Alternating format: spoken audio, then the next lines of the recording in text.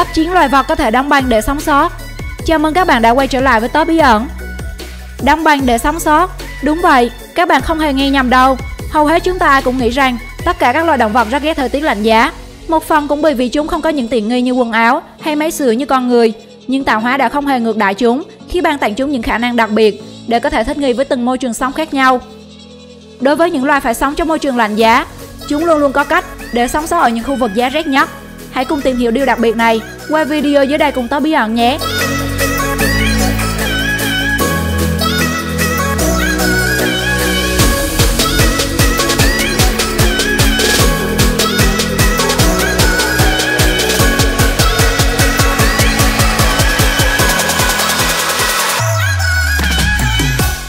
một, Sóc đất Bắc cực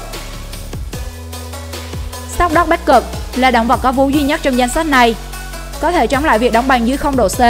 Mặc dù nhiều động vật có vú có khả năng đối phó với các lạ bằng lớp lông rộng rạp hoặc ngủ đông trong các tháng rét búa, nhưng không có cách nào trong số này sánh được với khả năng của sóc đất bắc cực. Chúng có thể siêu làm lạnh cơ thể của mình xuống dưới ngưỡng đông băng tới âm 2,9 độ C, một kỷ lục trong thế giới động vật có vú. Tuy nhiên, sự thích nghi ấn tượng thực sự lại xảy ra trong bộ nào của sóc đất bắc cực. Chúng có thể cắt rời các kết nối thần kinh, các khớp thần kinh để ngủ đông, rồi tái kết nối thần kinh lại ngay sau khi thức tỉnh và làm ấm cơ thể. Gần 2 đến 3 tuần một lần trong suốt mùa đông.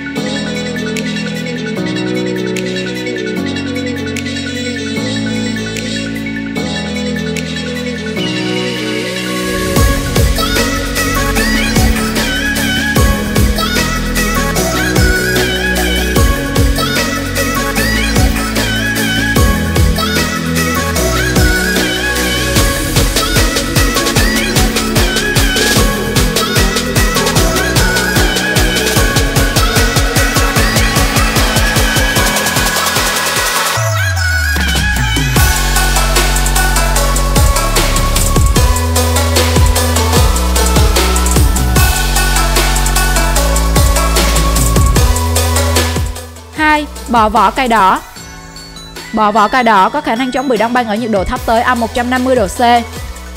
Các con bọ cánh cứng, chui dưới vỏ cây màu đỏ có thể sống sót qua mùa đông. Bằng cách ẩn nấp bên trong các cây dương Alaska, ném mình trong vùng ẩm ướt phía dưới vỏ cây.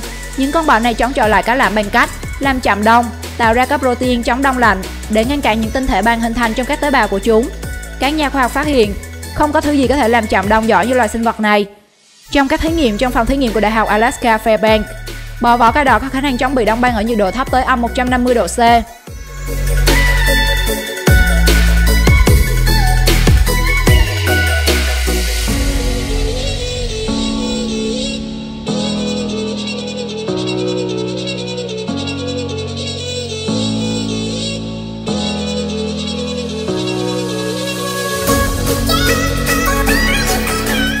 ba, rùa vẽ con Rùa vẽ là một loài động vật cứng cỏi, chịu đựng được gian khổ và điều đó cho phép chúng sinh trưởng ở hầu hết khu vực phía đông dãy núi Rocky của Bắc Mỹ. Tại những khu vực lạnh hơn của dãy núi này, các con rùa máu lạnh đã phát triển khả năng thích nghi cực điểm để không đông lạnh tới chết. Sau khi ấp nở vào cuối hè hoặc đầu thu, hầu hết rùa vẽ con tìm đường tới hồ hoặc dòng suối không đóng băng để trải qua mùa đông đầu tiên của chúng. Tuy nhiên, rùa vẽ con sinh trưởng ở các vùng khí hậu lạnh vẫn ở trong tổ của chúng suốt mùa đông. Khi nhiệt độ có thể sụt giảm tới dưới ngưỡng đóng băng, những con rùa vẽ con có thể sống sót nhờ máu có khả năng làm chậm đông. Ngăn các tinh thể băng hình thành, ngay cả ở dưới mức nhiệt độ đóng băng của máu của chúng. Lớp da dày cùng lượng nước cực nhỏ, tích trữ trong các con rùa con chỉ nặng 5 gram, cũng cho phép chúng chống chọi với cái lạnh nữa đấy.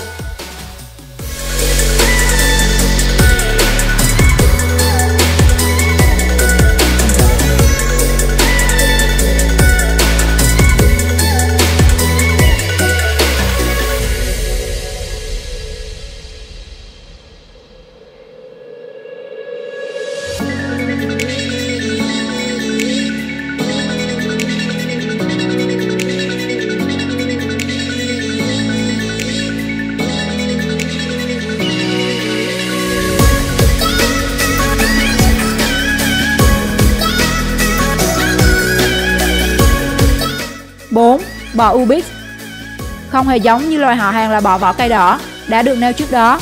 Bò Ubix nhường bộ hơn trước cái lạnh. Những con bò này chọn các hốc cây khô. và tránh nước ẩm động lại. Nhằm đối phó với tình trạng đông cứng, chúng tống hết nước ra khỏi các tế bào của mình, ngăn chặn sự nứt vỡ tế bào nguy hiểm do các tinh thể đá phình rộng gây ra. Chiến lược khử nước này đồng nghĩa chúng vẫn không bị đóng băng ở nhiệt độ âm 7,5 độ C và có thể sống sót trong khi bị đông đá âm 76 độ C.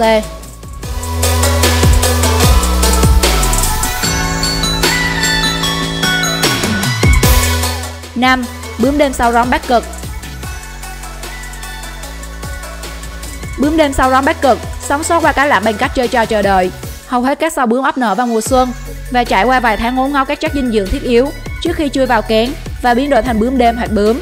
Sao bướm trải qua gần 90% cuộc đời của chúng trong trạng thái đóng băng và tỉnh thức để ăn gỗ cây liệu bắc cực. Và nếu chúng thu thập đủ chất dinh dưỡng, sẽ tiếp tục trạng thái nhộng và sau đó là giảm bướm đêm trưởng thành và nếu cần thêm thức ăn nữa khi thời tiết ấm qua đi, sao bướm sẽ quay trở lại trạng thái ngủ đông. Nhờ chiến lược kiên nhẫn này, bướm đêm sao rắn bắc cực là loài sao bướm sống thọ nhất, vòng đời kéo dài tới hàng năm, trong khi hầu hết các loài bướm khác chỉ hoàn thành trong vòng vài tháng.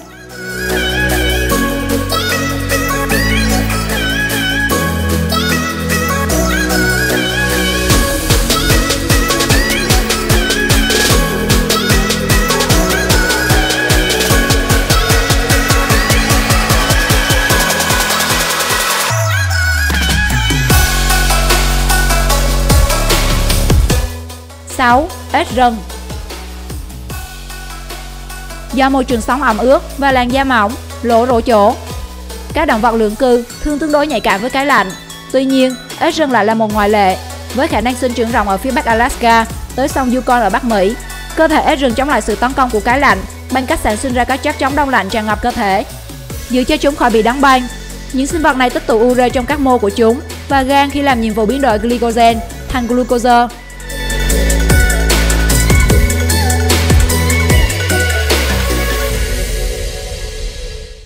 7. Gấu nước Tardigrade Không có bất kỳ sinh vật nào có thể so sánh khả năng chống lạnh ấn tượng như tardigrade.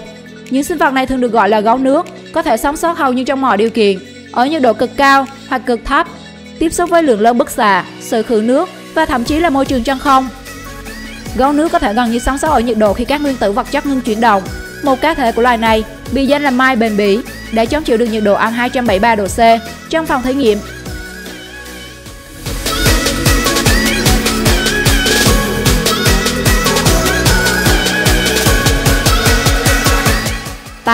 Tuyến trùng Tuyến trùng là những con dung nhỏ, không dài quá 1mm và được nhận thấy là có khả năng thích nghi tùy thuộc vào môi trường hoang dã mà chúng sinh sống, đặc biệt là trong môi trường băng giá. Chúng có thể phát triển các miệng khác nhau để thu nạp thức ăn có sẵn. Một số khác thì thích nghi với nhiệt độ cao. Chúng là sinh vật đa bào sâu nhất, từng được tìm thấy và một số thậm chí đã thích nghi để có thể sống bên trong ruột của sên.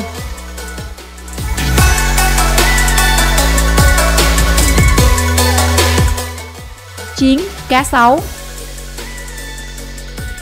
Cá sấu có thể được tìm thấy ở trong các khu vực có nước trên thế giới, nhưng chúng phải quay trở lại bề mặt trên cạn thường xuyên nhằm hít thở không khí để sinh tồn.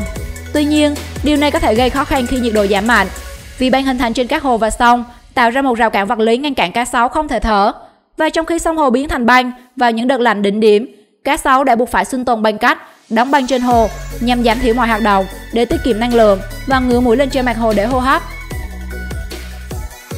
Thật tuyệt vời đúng không nào các bạn? Có thể nói, chúng rất xứng đáng với tên gọi, những ca thủ sinh tồn trong thế giới động vật, sống sót khi thời tiết điên rồ nhất với những cách điên rồ nhất. Dường như chúng đã miễn nhiễm với cái lạnh khi thoải mái nhanh nhở tung tăng ngoài trời, hay ung dung nằm im mà không hề hấn gì. Bạn thấy những loài động vật kỳ lạ này như thế nào? Hãy chia sẻ cho Tó Bí ẩn biết bằng cách comment phía dưới nhé. Và đừng quên nhấn like và subscribe kênh để không bỏ lỡ video nào từ Tó Bí ẩn.